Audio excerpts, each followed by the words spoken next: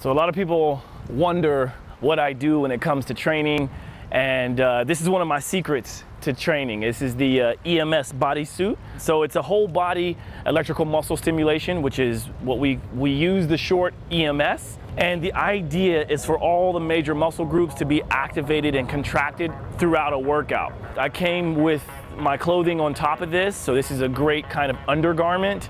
No cables, no wires, no water necessary.